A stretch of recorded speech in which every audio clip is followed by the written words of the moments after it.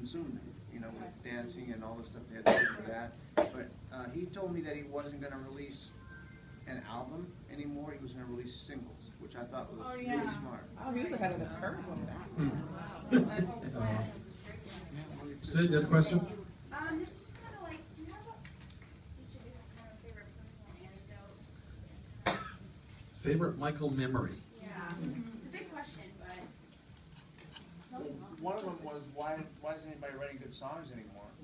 Which somebody kinda touched on, you know, Well, that Michael would say that. about other people. Right. Yeah, but just, just sort of. I mean, I, I think You're that you're it. asking something else, like just what were some cool things that Yeah, we did? yeah, just a Yeah. personal Like, memory. we'd be, me and Michael would be racing, he liked to run, and so we'd chase each other through the halls in the hotel.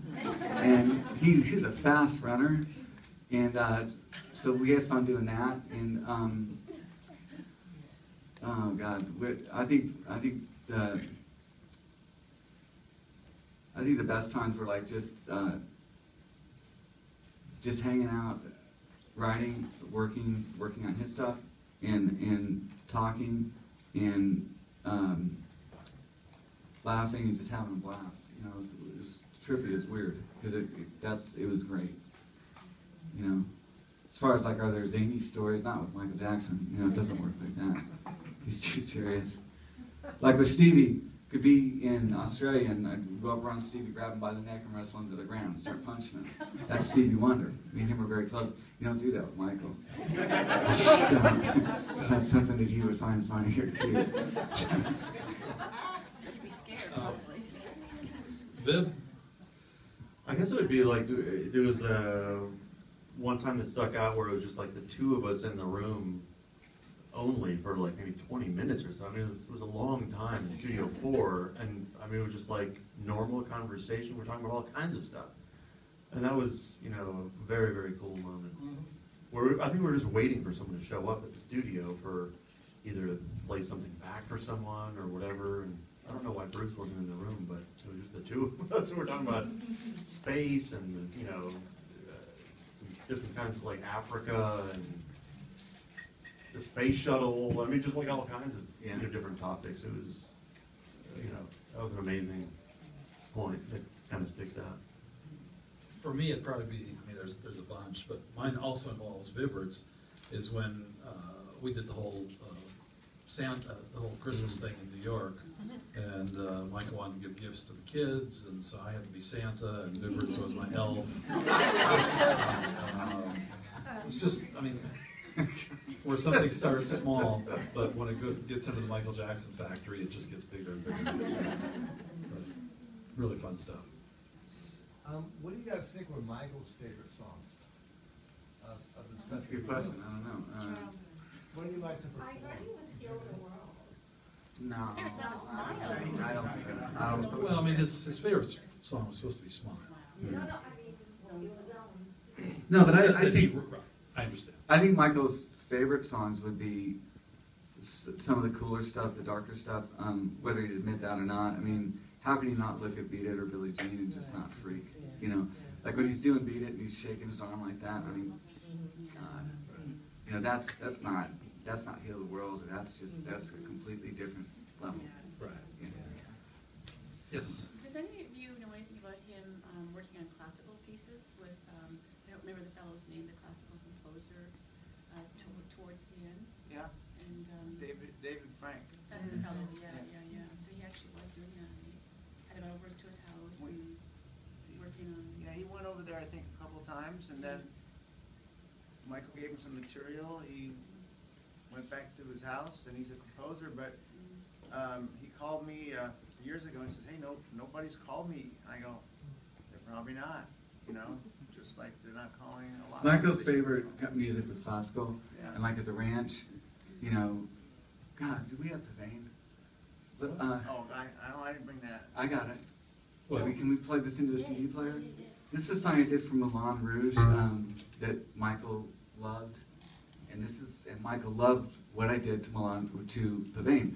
Pavane was written by Fauré, and it's a classical song that I did a a synth version to with drums, and it's really really cool. Mike absolutely flipped I, I out. have, I never, I But I got the, I got the real one, I mean, play this one, Michael, from the CD if you got it, because this is more of a finished one. I one. got five point seven, one point one. One point one, you better not play one point one. The real deal. The real deal. Well, oh, do you wanna hear the real one, you don't wanna hear? What did I do with the CD? I had a CD here. That right there? Where? Yeah, you, Brad? Yeah, where's Charles? Yeah, it's right there. Yeah, it's here. So Where's Brad, Charles? have that hang on. Where's Damian Shields? Can we play this? Can we play the Uh, only in your computer, not Mine? Do we wanna do that when people come up and meet with you? This That's- is great. Okay, no, It's I'm just, good, I'm saying this, it's- you know, talk about Michael loving classical, he Yes. just flipped out at this. Let's hear it. And the reason he didn't do Moulin Rouge is because there were all these other artists in it, and there were too many artists at the time. And, uh, so, um, Robert Kraft was the, the head of whatever studio did Moulin Rouge, and we met with Robert Kraft, and, uh, and did this music, and so, uh, You don't think that's what, you don't that's not um, Real smooth production we have up here, you can tell. right. Is there one more question while they're figuring it out? Was that it? Okay. No, because it has an intro and that. Yeah, play it, play it from, uh,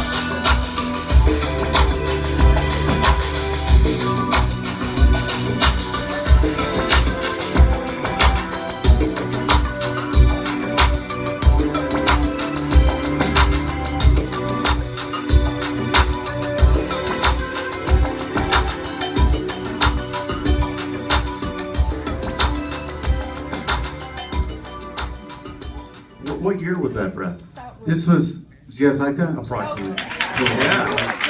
That's, that's what Michael thought I did better than anything else was the classical stuff. And that's, uh, nothing but synthesizers, uh, doing the thing. That was from Moulin Rouge and, and they loved it and, uh, studios loved it, Baz Luhrmann loved it, everyone loved it. Michael just didn't want, he wouldn't do the film because there were too many artists at that point in time, including like Madonna and stuff like that. He doesn't like to, uh, he likes to be like, no, he doesn't want to be one of the crowd, so. All right, you guys good? All right. I want everyone to have a chance to see Brad, take a quick photo.